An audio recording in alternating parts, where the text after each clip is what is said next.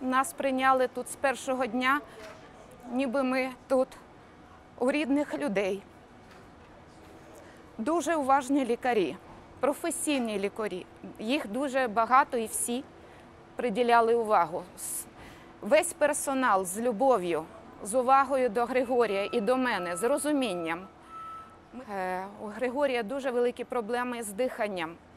В Києві сказали, що він може задихнутися будь-якої ночі, тому ми не спимо ночами роками, щоб відстежити момент, коли він не може дихати. І я завжди визивала швидку допомогу. Але в Києві лікарі сказали, що вони не можуть допомогти, щоб я більше Григорія не привозила в лікарню навіть в районну.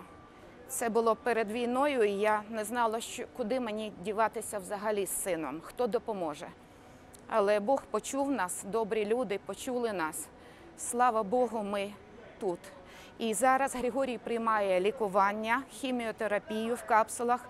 Це мрія фантастична. І це ліки допомагають.